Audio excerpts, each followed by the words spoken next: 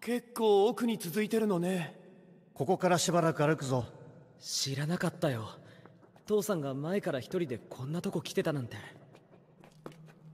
じゃあシナモンが美味しいなタウンに来たのは師匠のアドバイスなのね。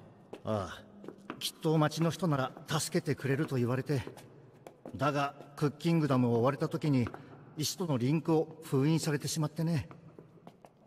だからそのデリシャストーンの力を保つためにたまに来てこの土地から力をもらってたんだ。少し休憩しようか。ええ。やはりこれはもともと壊れるように細工がしてあったようだ。えそれって誰かが仕掛けておいたってこと？おそらくは。じゃあクッキングダムに悪者が紛れ込んでるって可能性もあるんじゃないか。そういえばお料理が消えてることをクッキング様に一番に報告したいんだけどちっとも連絡取れなくておかげでまだユイたちにも言えてないのよね。やっぱりダメ。どうしちゃったのかしら。とにかく急ごう。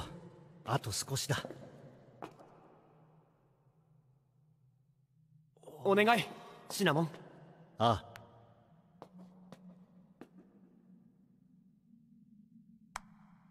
腹ペコにご飯傷に癒しを。綺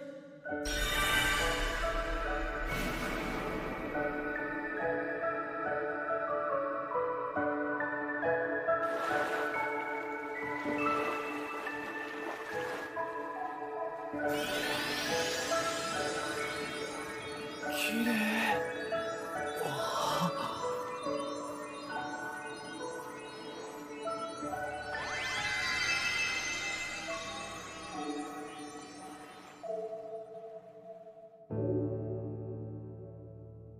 治ってる？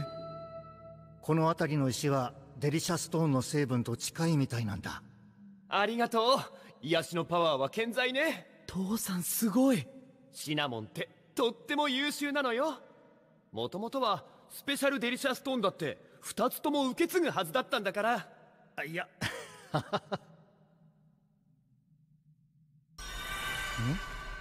これは？